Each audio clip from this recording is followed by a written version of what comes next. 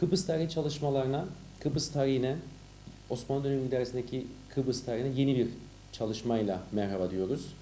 Ee, Kukla kazasının nüfus defteri, yerleşim öz esasları, Kukla kazasında Osmanlı idaresinde yaşayan insanların durumlarını gösteren yeni bir kitap, yeni bir çalışma e, meydana getirdik. Bu çalışmayı üç kişi yaptık. Ee, birincisi Yunanistan'dan Profesör Doktor Evanjeli Balta, diğeri İstanbul'dan Profesör Doktor Mustafa Oğuz ve üçüncü kişi olarak da Kıbrıs'tan Yakın Üniversitesi'nden ben Profesör Doktor Ali Eftal Özkul.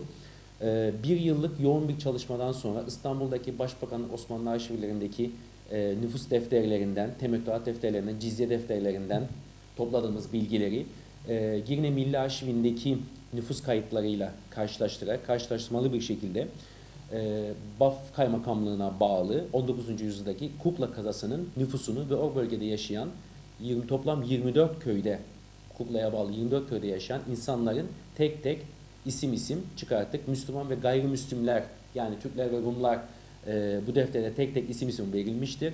E, insanların bütün özellikleriyle e, verilmeye çalışılmıştır. Defterdeki yazan mal varlıkları verilmiştir. Ev, yaşadıkları köyler verilmiştir.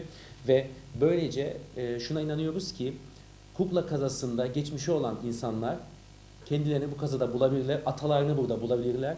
E, ben Kukla kazalı olsaydım bu kitabı kesin okurdum. Çünkü bu kitap İngilizce basıldı, İstanbul'da basıldı, saygın bir yayın evi tarafından basıldı. E, bizim kendi tarihimize çok önem veriyorlar. Biz de atalarımızı bulmak istiyorsak bu kitabı okumalıyız diye düşünüyorum. Teşekkür ederim.